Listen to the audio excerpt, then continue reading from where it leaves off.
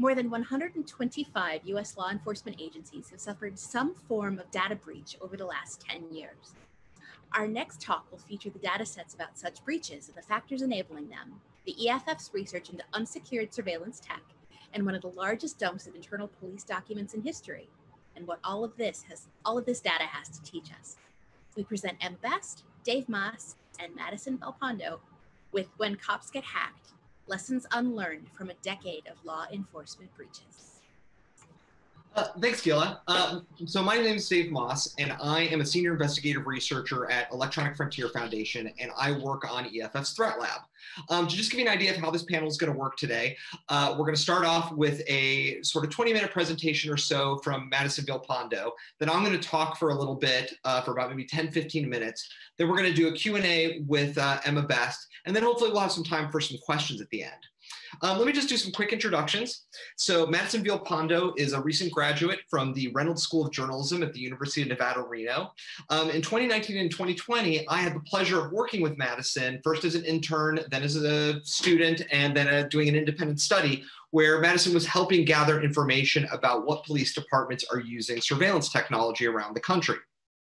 So Madison's final research project focused on cybersecurity vulnerabilities in law enforcement agencies. Uh, she also recently graduated, and so she's a freelance journalist looking for some new opportunities, especially opportunities that would help her scrutinize law enforcement and corporate surveillance. Now, Emma Best is an independent journalist and transparency activist who has filed thousands of Freedom of Information Act requests with government agencies. They are known for their tenacity and their keen eye for details and documents, and they are a ruthless advocate for the truth at any cost. Uh, they also co-founded the Distributed Denial of Secrets Collective and coordinates its operations. Um, and you might know DDoS uh, because of the, the BlueLeaks, which has taken over a lot of the news recently. I would also like to say that Emma is uh, also one of my personal heroes. And if you just go onto Muckrock and go through their requests, you will receive a master class on wrenching uh, information from the government.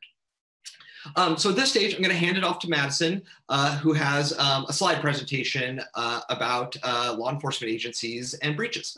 So as we've said previously, this is When Cops Get Hacked, Lessons Unlearned from a Decade of Law Enforcement Breaches. I'll just go a little bit about me.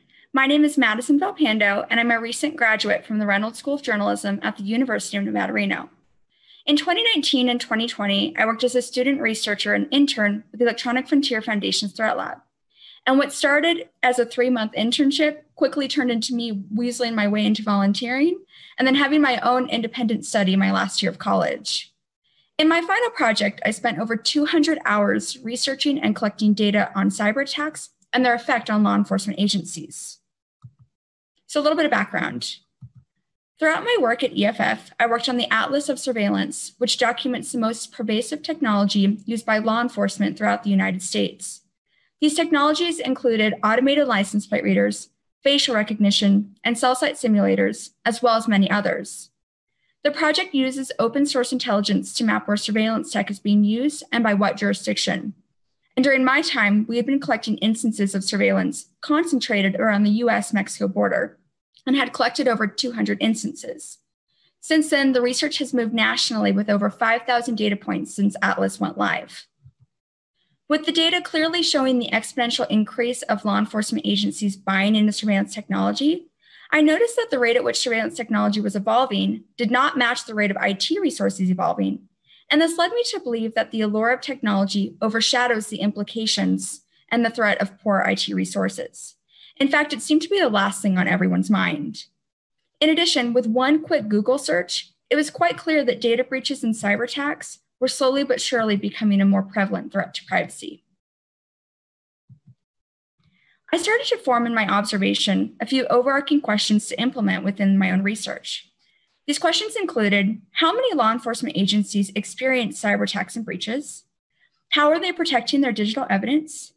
What information is generally exposed? And are law enforcement agencies properly equipped to protect their technology? With these questions in mind, I began collecting news articles, press releases, public records, writing FOIA requests, and basically trying to find any open source intelligence in order to create a database that could potentially answer my questions and show whether or not the protection of data was a high priority for law enforcement. In the 200 plus hours that I've been working on implementing this project, I have documented so far that over 125 law enforcement agencies, 126 to be exact, have suffered some sort of data breach or cyber attack since 2012. The data taken includes social security numbers, phone numbers, addresses, license plate information on the US Mexico border, fingerprint identification, and data from fusion centers. And with months and months of research under my belt, I woke up about June 22nd only to see that more than 250 police departments had been hacked. And with that, the data tripled.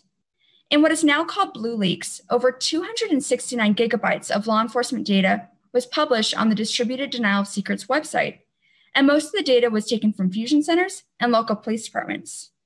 The research that I've done so far could have only alluded to a major data breach that would affect the data of thousands of people. And in what took me three months or six months to collect, tripled in near seconds, only magnifying the dangers of poor IT security protocols.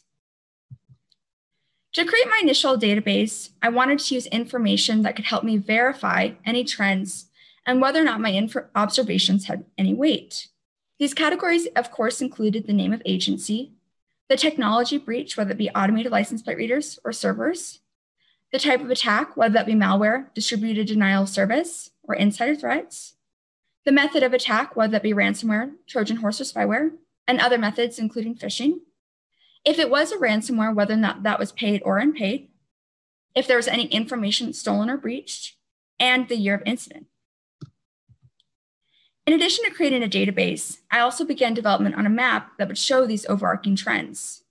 The map that you see here is representative of the data that we have prior to BlueLeaks, but that will of course be added later. This working map includes instances of ransomware, distributed denial of service, telephone denial of service, viruses, negligence, and physical theft. And there are several trends that we can take off away from this map right off the bat. Most notably is the quantity of breaches that are concentrated in the south and northeastern parts of the United States. In fact, both Georgia and Texas experienced the most cyber attacks, specifically ransomware, which was the most common form of cybercrime. Ransomware at this point takes up more than half of the cyber attacks that affect law enforcement agencies on this dataset. Ransomware is one of the most expensive cyber attacks that I've seen so far. And because of this, I also checked how many paid and how many did not. What I found so far is that 34% paid, 45% refused payment, and 21% were unclear. The most common method at which this happened was phishing, when an employee or volunteer would accidentally open a malicious link from a third party email. This is not surprising given that in 2017, Digital Guardian reported that 91% of successful cyber attacks are launched via phishing email. Furthermore, in a report from the International Association of Chiefs of Police, between 2014 and 2017, Michigan auditors conducted a phishing attack on 5,000 randomly selected state employees to see how they would deal with this potential threat. One third of the recipients opened the email, and almost one fifth provided their user ID and password. And if this is the case, then the lack of cyber knowledge with these employees has the potential to create a very expensive crisis.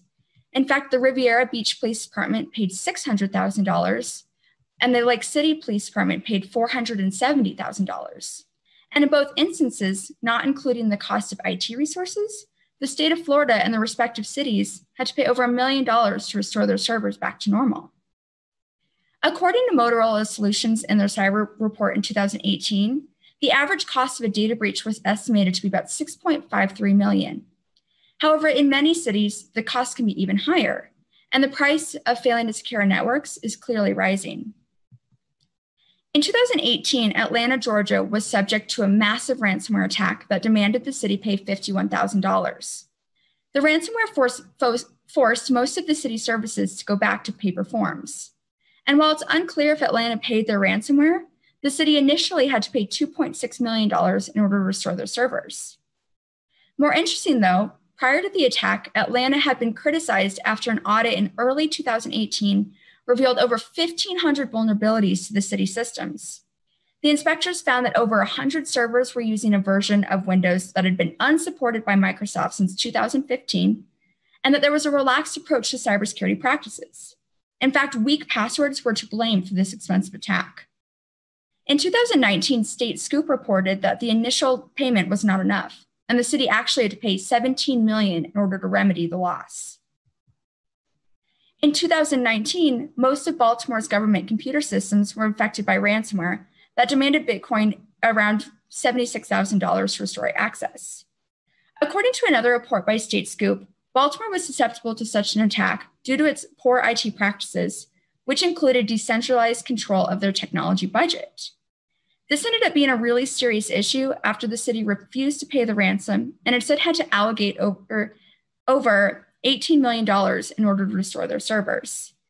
And the decision to pay ransomware is an absolute gamble. In fact, the FBI and the Secret Service advised against paying ransom as it could embolden more attacks.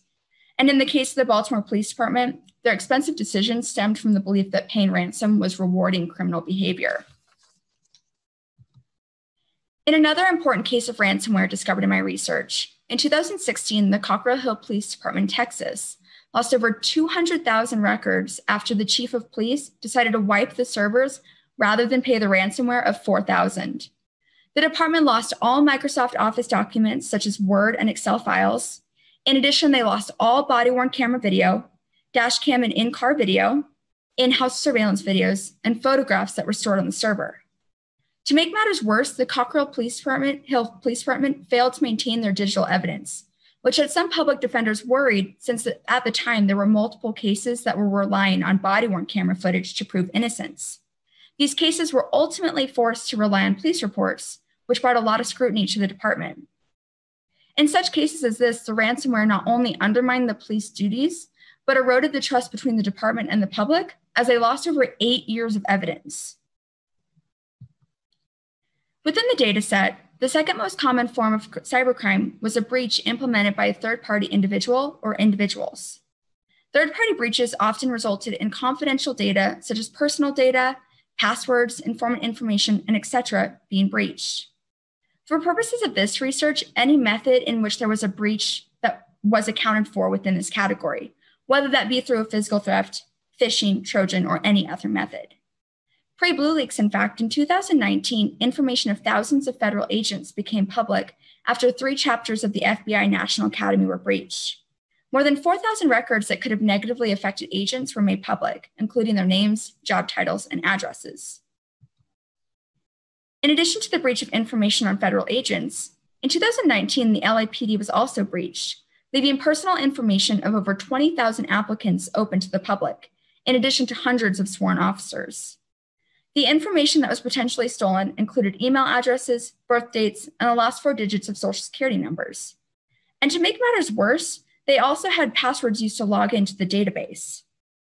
The department only found out about this breach after the perpetrator revealed themselves to the agency with the knowledge about people who had applied between 2010 and 2018. Luckily, in response, the LA Times reports the department did bolster IT funding after this. In a less known but more common to the types of breaches in this dataset, in February 2012, hackers breached the Dallas Police Department's internal servers and stole the usernames and passwords for, for several officers, including information about informants and jail inmates. A smaller scale breach such as this one, however, was notable because it occurred in 2012, again in 2014, in 2017, and recently in 2020, showing no real change in IT practices. The third most prevalent form of cyber attack on law enforcement agencies was a distributed denial of service. This took about nine instances so far of the 2126 that I found in my data. I'm certain there are more, but as of right now, this is what I found. In instances of DDoS, the access to emails, websites, servers, and legitimate traffic were often disrupted.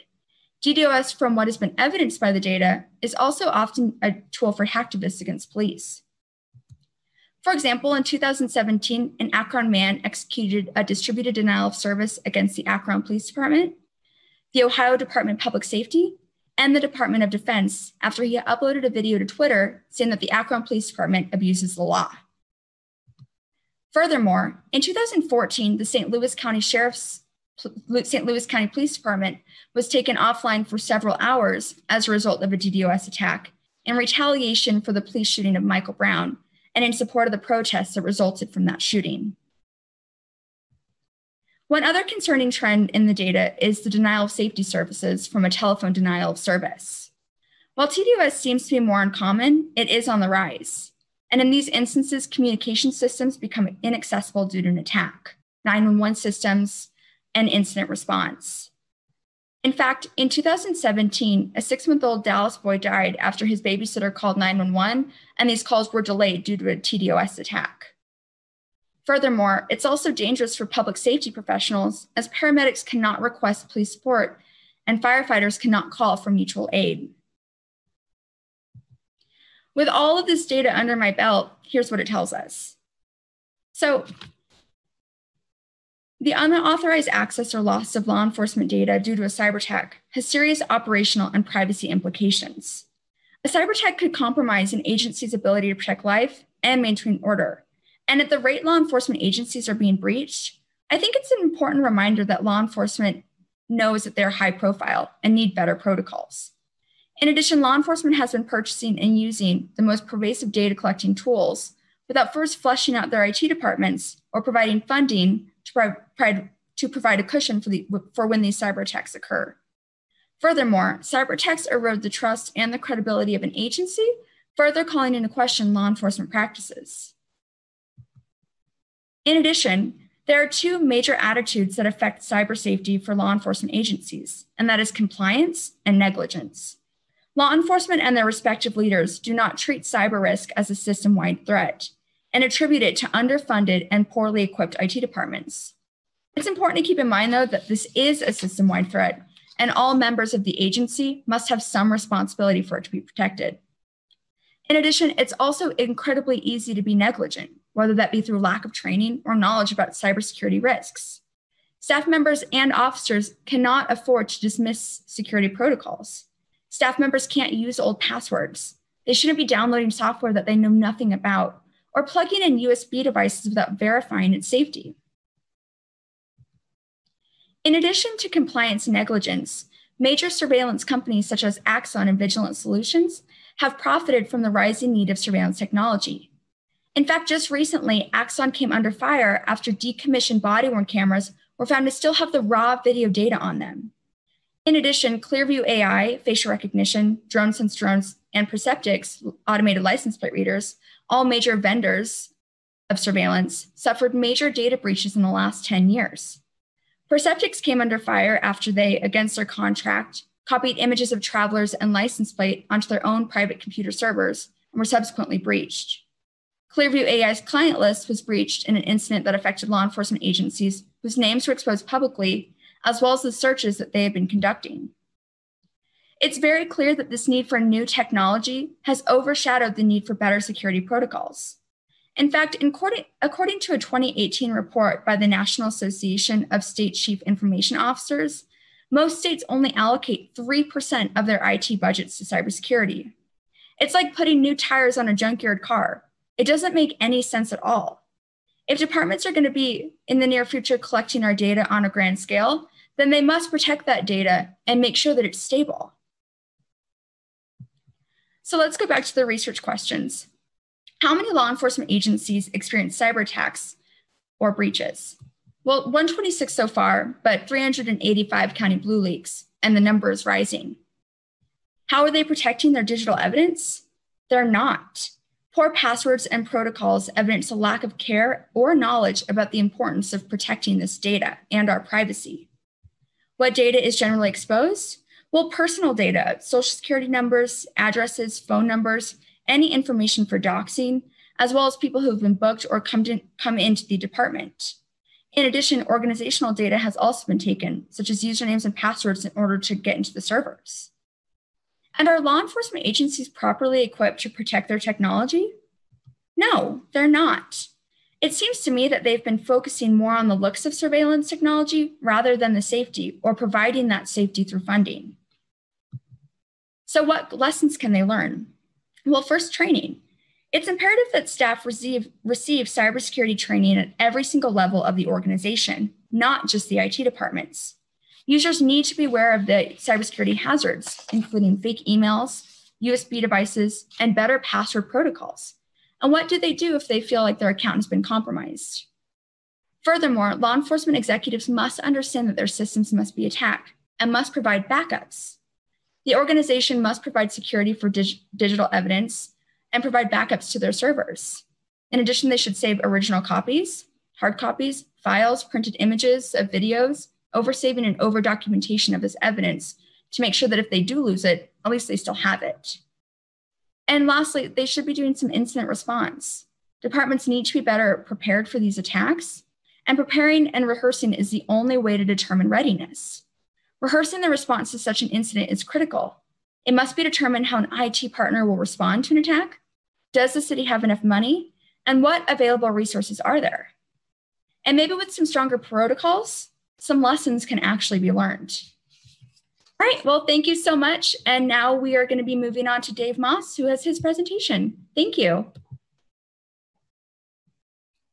Thank you so much. Um, so I just wanted to give uh, everybody, uh, uh, if everybody could just sort of give a digital round of applause. I don't think we're going to be able to hear it or anything like that because this was Madison's first conference talk and it was fantastic.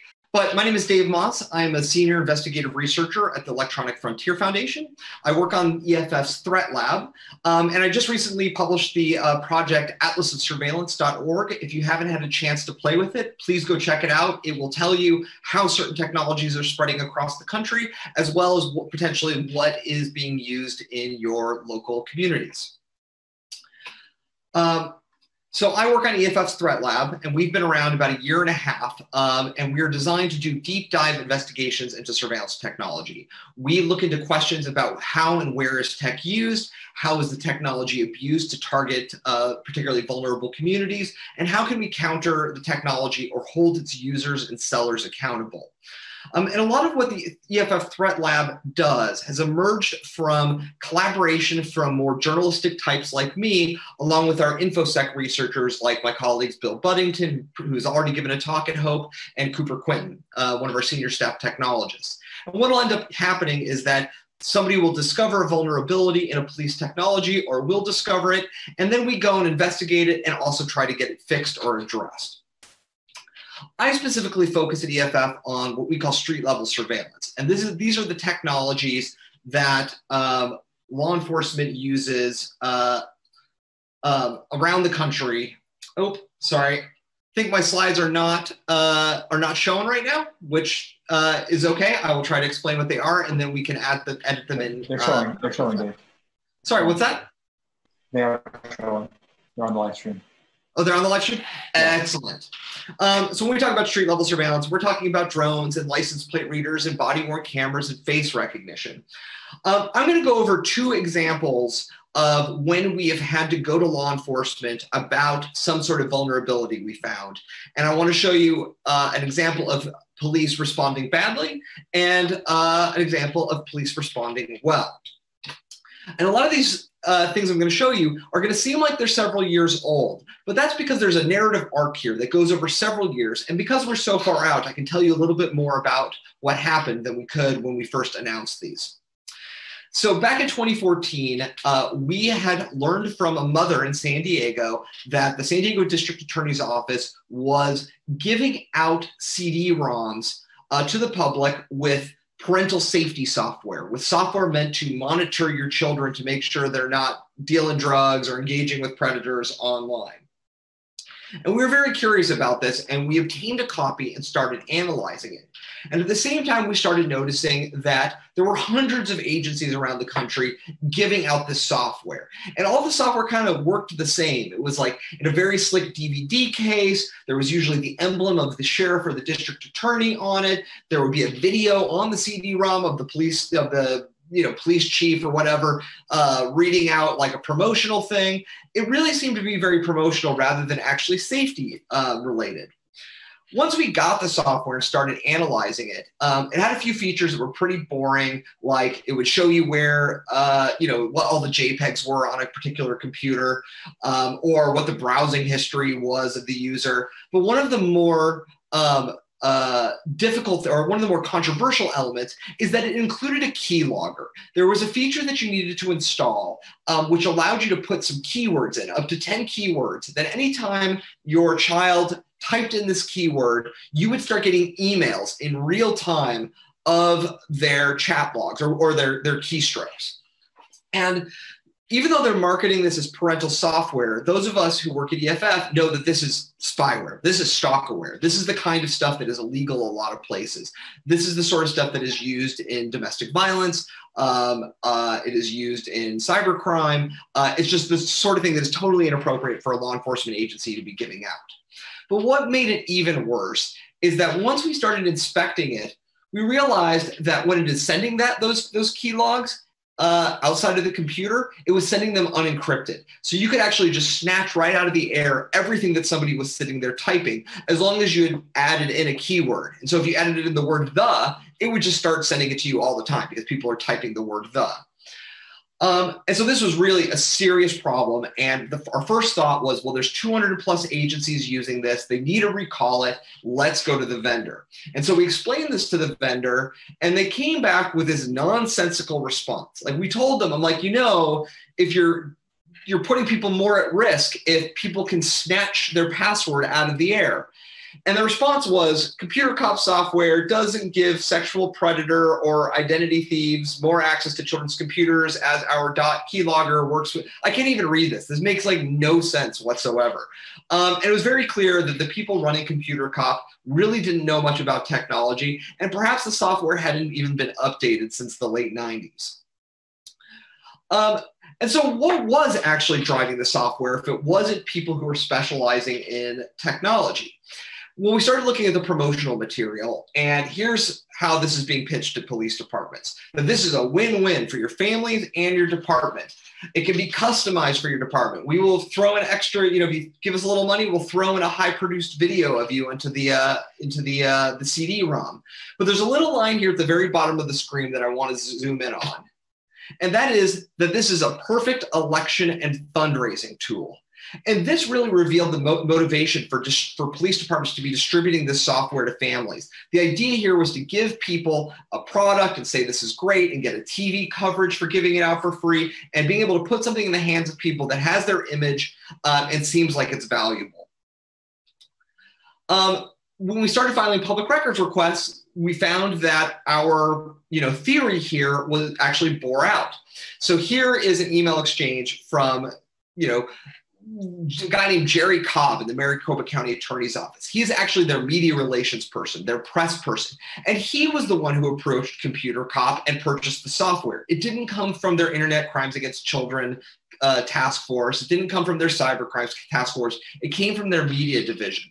And rather than get a full examination of this software by a cybersecurity specialist, this guy, Jerry Cobb, just went to their IT guy, and their IT guy played around with it a little bit and did a little research on it. And then it appears to be clean, he said. Uh, but then he also said that nothing is installed on the PC, which is good. That could be good if it was actually true. Because if you actually look at the software, and this is a slide from the presentation that the ComputerCOP company gives, you have to install the keylogger. It does install on the on, on the computer, and it doesn't just install on the on the computer in order to uninstall it, you need the CD-ROM. Now, I think that most people who have a lot of, um, uh, you know, people who are attending this conference or who have a computer background would have been able to remove it uh, manually without going through the uninstall function. But your average family person, uh, if they had found this on their computer, they wouldn't have known how to get rid of it because they didn't have the CD-ROM. So when our blog post about this uh, uh, this issue came out, uh, there was a lot of press coverage, and a lot of reporters went to their local law enforcement agencies to ask them about the security flaws. And there were some terrible responses out there. So the Contra Costa District Attorney's Office in California said, "Well, you know, there are so many agencies using it and we've never heard about identity theft so it must be okay. And then they said well if we find out there's some sort of breach later then we'll recall the software but we're not going to do it until then. And that's like the equivalent of like reporting to a government agency or reporting to a restaurant that their food is poisoned uh, once you did a lab testing and they're like well you know nobody died yet so we're not going to take that out of our ingredients and out of our recipe. But my favorite response came from the Limestone, Limestone County Sheriff Mike Blakely in Alabama. And his response was, We've had the keylogger checked out with our IT people. They have run it on our computer system. There is no malware. And I think if the mics were turned on, I could hear everybody's heads hitting their desks several times over right now. Um, because did they actually install a keylogger on their police computers? Do they not know what a keylogger is? I don't know. But then they went on. Oh, so let me let me tell you one other thing. So their IT people, when you research their IT people, the guy at the IT person's his main job seems to be organizing the sheriff's office's annual rodeo, which apparently is like the fifth best outdoor rodeo in the country. Great on him for organizing the rodeo. Shame on him for not vetting the software. But then they also went on to attack us in the press, calling EFF an ultra liberal organization that is not in any way credible on this. They're more interested in protecting predators and pedophiles than in protecting our children. Um, and so the, the question is if we're not credible, why do they think ComputerCOP is credible? And the reason is, is that ComputerCOP was lying. ComputerCOP claimed in all of its promotional materials that it was endorsed, that the software was endorsed by the National Center for Missing and Exploited Children, as well as the ACLU. But I called both of these groups, and NCMEC said that sure, in 1998, they had given a one year endorsement, and that was the limit of it. But they hadn't been in contact for 15 years, and they were going to send a cease and desist to ComputerCOP. And then meanwhile, when I asked ComputerCOP, like who at the ACLU did it, they were like, oh, well, it was the ACLU of Michigan. They said something in a news article once. ACLU Michigan came back and said unequivocally they did not endorse the product. But the most, the, probably the strongest piece of endorsement that they would circulate was this letter from the Treasury office saying that this is a great thing to spend your civil asset forfeiture money on. Like, use your excess funds to buy this software. It's great. And I got a copy of this letter and I was like, hmm, this looks a little strange. Like I've seen government letters before. Usually there's a date, there's a return address, there's usually a line under here. This doesn't kind of look like the logo. Something weird is going on here. And then I looked later in the letter, and you might be able to tell on the screen, but this middle paragraph is the really promotional paragraph, and it's larger font, it's spaced differently. And I'm like, there's something weird going on here. So I put in a FOIA request to try to get an original version of this document, and I included the, the version I had. And then a few days later, like I didn't even get my FOIA documents back, but within a few days later, I got tipped off that the Treasury Department's Inspector General had put a fraud warning on its website with a copy of this letter saying that this letter purporting to be from the Treasury Office is not genuine. So here we have like a company actually fabricating a government document in order to get contracts. So the Treasury Office ran an investigation. It took three years. They found out that it was substantiated and that at least three law enforcement agencies purchased the software, having read that memo and thinking it was real. However, because ComputerCOP stopped using the letter and posted a disclaimer on its website, and because the investigation took three years and the statute of limitation is three years, they decided to just leave it at that. Meanwhile, ComputerCOP gets to still have its website and still sell its product to law enforcement agencies, except now it's on USB instead of CD ROM. Um, I also wanted to just sort of close the loop on this narrative and go back to uh, Limestone County Sheriff Mike Blakely and see where he is today. Uh, he has been arrested on theft and ethics charges and is facing criminal trial uh, in Alabama. So there you go. All right. The second thing I want to talk about is automated license plate readers. So these are uh, cameras that law enforcement will install on uh, street lights, on highway overpasses, and they look for license plates do OCR on the license plates and upload them to, them to a database with time, date, GPS coordinates. The idea is to build up a database where you can search somebody's license plate and see wherever they were over a period of time, or to get real time alerts on where they are if you're trying to track somebody. But that means there's all these cameras around the country that are just connected to the internet. And for years, there have been researchers like Dan Freamon and Dan, sorry, Darius Freamon and Dan Tentler and a group of cybersecurity students at the University of Arizona who have found and reported over and over again that these cameras are online without password protection or with default passwords that are just there. Um, and so my colleague Cooper and I decided that enough was enough. We're going to figure out who these belong to and get them to shut them down. Um, and so first thing we did was verify that yes, you could go to a URL, um, and sometimes these were very obvious URLs. Some of them we got the URLs through Shodan. Um, and yeah, fair enough. You could go and there was the configuration settings. You could mess with those. You could bring up the camera and watch it live. You could siphon off the license plates um, through it, or you could connect via Telnet and just get a, a, a flowing feed of the license plates. Um, and, uh, you know, that was good. We confirmed that that was happening, but we still didn't know who they belonged to. Um, through the IP address in Shodan, we had an idea of what city or what general region they were in. But if you look here, you can see um, uh, there's a thing called camera name and there's a lane name. So 28th and University and eastbound.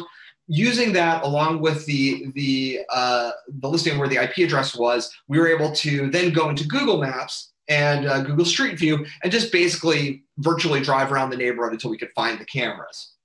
And then once we mapped them out, we found that most of the cameras were in uh, the outskirts of New Orleans. Um, there were a few at the University of Southern California, and there was one in Hialeah, Florida as well. But most of them were in this area, and they were all cameras belonging to this company called PIPS, which at the time was owned by 3M. And so we went to 3M at first because we didn't know who the cameras belonged to. We knew where they were, but we didn't know what agency was responsible for them. And so 3M came back and said, you know what, we stand behind our security features. We have a password feature, you know, like it's it's explained on the box how to set up the password. If the, if the agency isn't going to actually put on a password, that's not our business. So this is the second time. Both of these cases, we have a, a vendor not taking responsibility for a security issue. And so what we ended up doing, um, and so we knew University of Southern California's cameras were among them because the web URL was something like pipscam1.usc.edu. And so we emailed USC and they came back, they took down the cameras, they fixed them, they thanked us for our time. They wanted to start an open dialogue about, about uh, cybersecurity. And that was like the perfect response. Um, I mean, actually, it would have been more perfect if they just killed the whole program altogether. But at least they they they didn't malign us. They listened to us and they took action. Similar thing happened with St. Tammany Parish Sheriff Jack Strain. So when we sent all these emails, to, so we ended up having to send emails to all the law enforcement agencies in the New Orleans area saying, "Are these your cameras? They're unsecured." St. Tammany came back to us immediately they thanked us for the for our, our bringing it to their attention they brought the cameras down they mobilized their staff to start auditing the cameras the, and to figuring out new solutions for putting up firewalls but not only that but they reached out to all of the other law enforcement agencies for us and got them to lock down their cameras as well um, so this was a huge, a, a, huge success story. This was exactly how uh, law enforcement agencies should respond when someone like EFF comes to them. Um, as a result of this whole situation with these cameras in New Orleans, we actually got some action uh, in a political fashion related to this. Uh, at that same time that year, there was a bill passed by the Louisiana legislature to create a statewide network, statewide network of license plate readers in order to uh, uh catch people who weren't doing insurance, uh, who, who hadn't paid their insurance bills.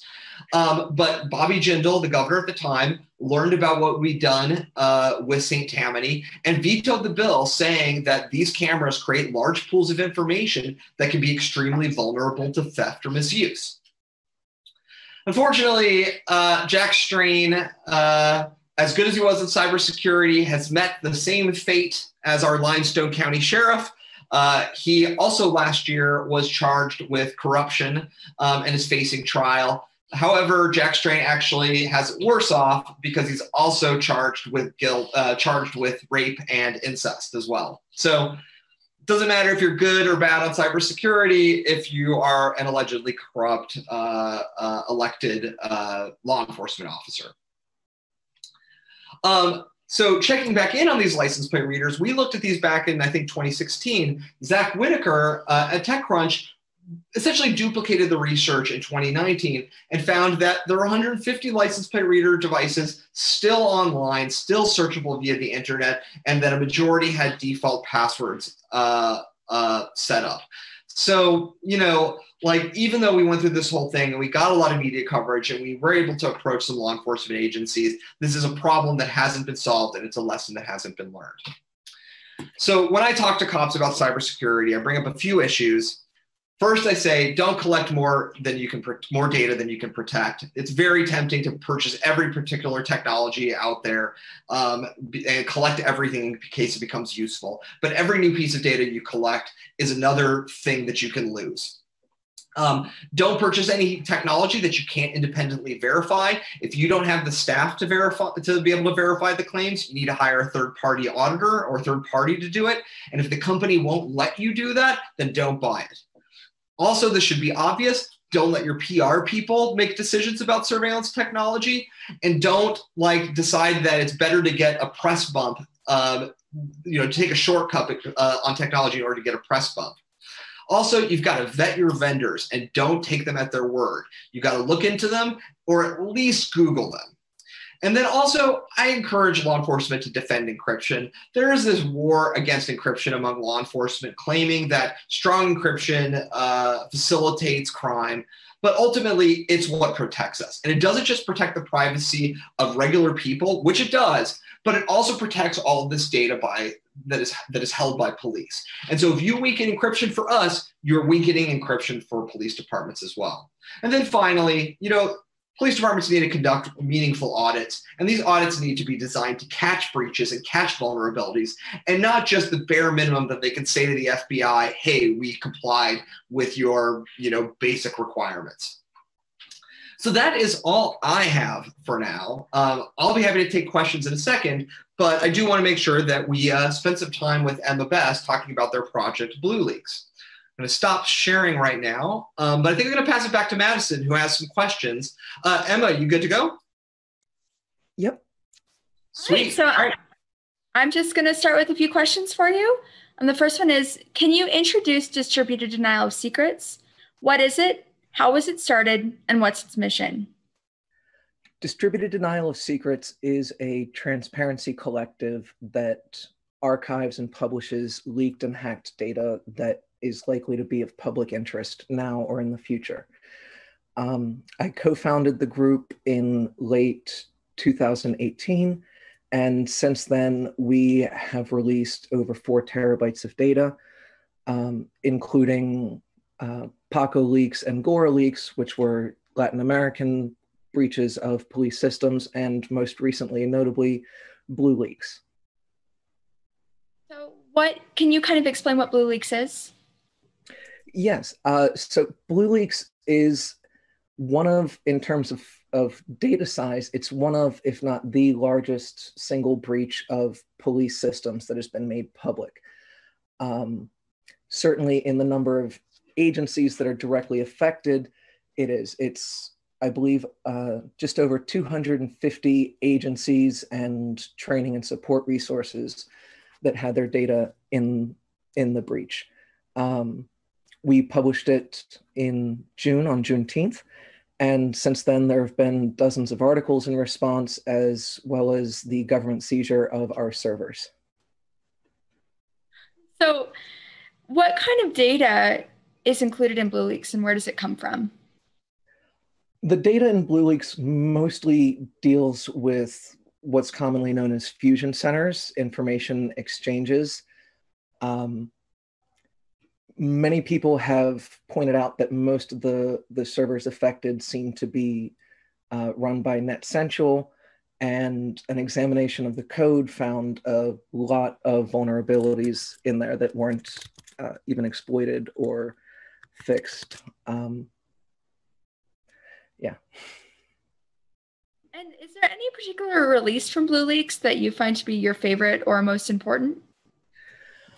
Um, I think I think what seems most important so far, and I expect this to change and evolve in the coming years because it's not just um, a release for the immediate future, it's you know 24 years of data that is an important historical archive. But the thing that has struck me as most immediately relevant is exactly how low the bar is for these fusion centers to gather and share with heavy air quotes, intelligence on things in the name of situational awareness. Uh, these have included labeling a um, a teen TikTok artist, a comedian, uh, as training people how to riot and basically commit terrorist acts by showing some tweets that were made by well-known comedians. Um, it has involved. It has shown that the fusion centers have passed on highly questionable intelligence, including claiming that services are being used to pay leftist protesters to riot. And this was an FBI alert that specifically cited a website that is a satirical website. And when the alert went out, the website said in giant red letters, this website is fake. When confronted with these things, fusion centers have consistently defended it and said they're not responsible for vetting the information. That's up to specific law enforcement and that it doesn't matter if the information is actually accurate or not because it informs the preparations and stance of police as well as their quote situational awareness. Um, the fact that these these situational awareness bulletins are often drawing from right-wing conspiracy theorists including qanon uh, doesn't really seem to be a problem to them, and they don't consider it as creating a situation where they're more likely to be violent with protesters, which is an odd stance to take when you are circulating warnings that leftist protesters are going to use car bombs to attack police stations, uh, which, you know, of course, was completely fabricated. And what do you think this tells us about the cybersecurity of law enforcement agencies? it tells us that they're not taking it seriously.